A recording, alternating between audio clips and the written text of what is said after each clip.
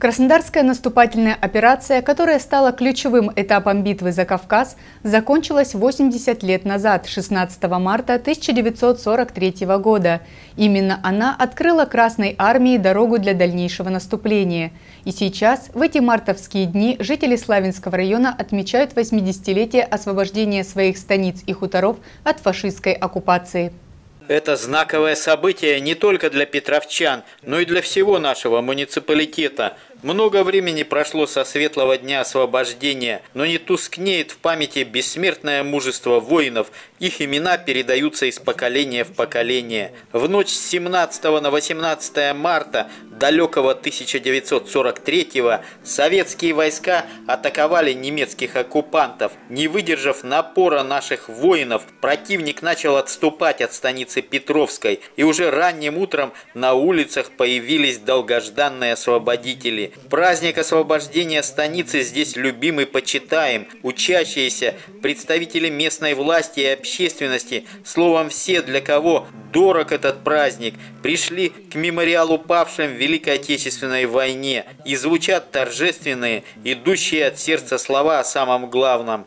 Ежегодно 18 э, марта проводятся митинги. И наша задача сохранить память о той войне, сохранить память о тех героях, которые, конечно же, освободили нашу станицу. Помните о тех петровчанах, которые более двух тысяч ушли на фронта Великой Отечественной войны, и более 1300 из них не вернулись. Конечно же, э, Основные бои проходили за территорией Петровской, но сюда привозили тяжелораненых. Я хочу поблагодарить сегодня председателя Совета ветеранов Камшина Николаева, поисковые отряды, и констатировать вам то, что у нас уже нет э, неизвестных могил. Более 700 э, э, освободителей станицы Петровской, значит, увековечено на наших мемориалах. Хочу поблагодарить вас, ребята, педагогов, директоров, за то, что сегодня каждая школа ухаживает за этим мемориалом. Каждая школа носит сегодня имя героя станицы Петровской, который совершил подвиг. Школьном здании во время Великой Отечественной войны был госпиталь. Рядом, на дворе школы, братская могила для бойцов, погибших смертью храбрых. Ребята и учителя до сих пор помнят об освободителях. Наша школа напрямую связана э, с историей Великой Отечественной войны. Здесь, на братской могиле, у нас захоронен Баштовенко Павел Федотович, чье имя носит наша школа. И захоронены э, с другой стороны еще два жителя станицы Петровской, которые погибли в Крымске, а по просьбе родственников перенесены сюда. Очень э, большой праздник для наших э, жителей, для наших учащихся школы, для коллег. Э, мы все время принимаем участие в митингах. У нас проходит и на День Победы, и на сегодняшний день. И также на 23 февраля мы всегда собираемся у памятника. Это братская могила погибших воинов. Какой огромной ценой было завоевано счастье! Более двух недель утопая в грязи и замерзая в ледяной воде плавней, наши солдаты и офицеры упорно прорывали оборону противника, и в конце концов им это удалось. Победа! Как она досталась? Каким путем вы к ней пришли? И раны были, и усталость, и шрамы на груди земли. Нам нужен мир на голубой планете. Его хотят и взрослые, и дети. Им хочется, проснувшись на рассвете, не вспоминать, не думать о войне. Возложение цветов к мемориалу стало завершением памятного митинга в этом месте. Затем празднование освобождения станицы продолжилось у Вечного огня рядом со вторым сельским домом культуры. И здесь учащиеся 31-й школы читали стихи, посвященные долгожданной победе над врагом в марте 1943 -го.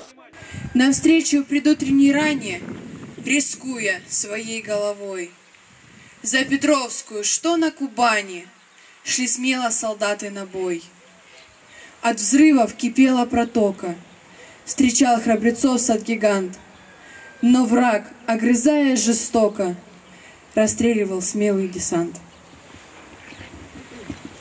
Они бессмертия не просили — склонили головы в бою за синеву полей Кубани, за власть советскую свою. И не могли они иначе, иного не было пути. Не каждый в списке обозначен у обелиска на груди. Петровчане всех поколений, продолжатели священных вековых традиций, здесь преклоняются перед всеми, кто стоял насмерть за каждую улицу, каждый дом, склоняют головы перед светлой памятью всех, кто не вернулся с войны. Сегодня, в этот день, э, ровно 80 лет назад, освободили станицу Петровскую от немецко-фашистских захватчиков. А каждый год мы приходим сюда, чтобы почтить память тех, кто отдал жизнь за наше будущее. На уроках мужества нам рассказывают о подвигах наших дедов и прадедов. Для нас это очень важно. И сколько бы лет ни прошло, навечно останется в памяти народной Великая Отечественная война. Для всех она очень много значит. Это и горечь утрат, и радость Великой Победы. Живые цветы петровчане возложили к обелиску павшим воинам-освободителям. Тем, кто, увы, не дожил до победы.